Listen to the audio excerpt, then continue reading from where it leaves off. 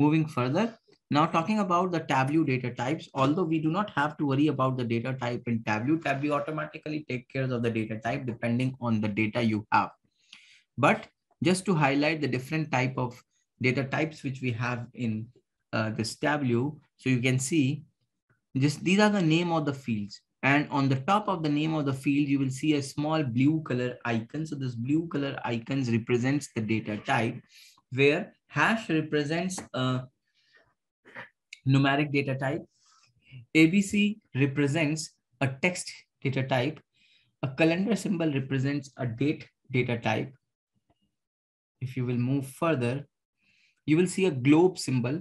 Globe symbol uh, represents a geographic data type.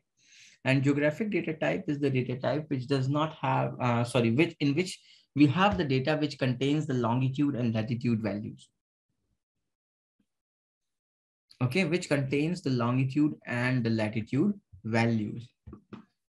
Okay, so this is used for creating the map. So we will talk about this further in the workshop. So these are the data types. Then we also have a Boolean data type, which says true or false. As of now, we do not have any Boolean data type in this data.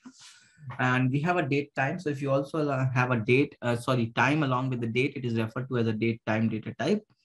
And um, this date time uh, data type we have. So the symbol is a calendar symbol along with a clock is indicates a date time data type.